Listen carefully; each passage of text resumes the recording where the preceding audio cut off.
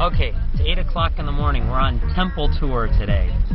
So today is actually a monk holiday, not sure which holiday, but um, we have to go to nine different temples because nine is a lucky number in Thailand. Just like in the States it's seven, in China it's eight, in Thailand it's nine. So we're in a car with 30 other people, well, different cars, and we're going area to visit nine different temples which are having nine different festivals. Here we go.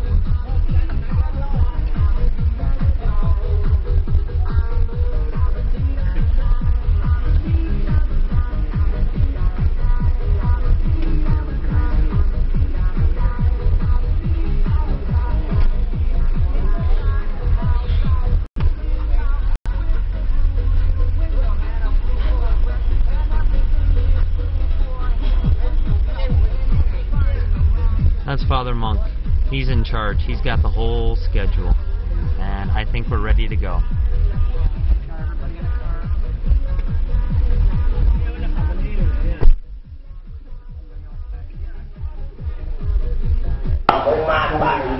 Okay, so this is how it works.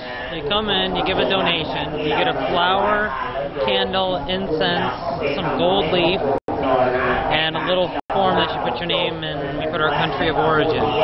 Then you walk around the temple and you put the gold leaf on all these balls that they have, the little gold balls.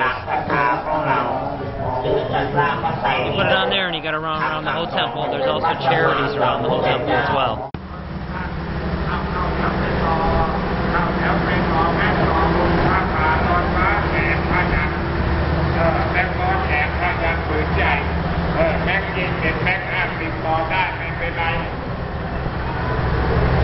This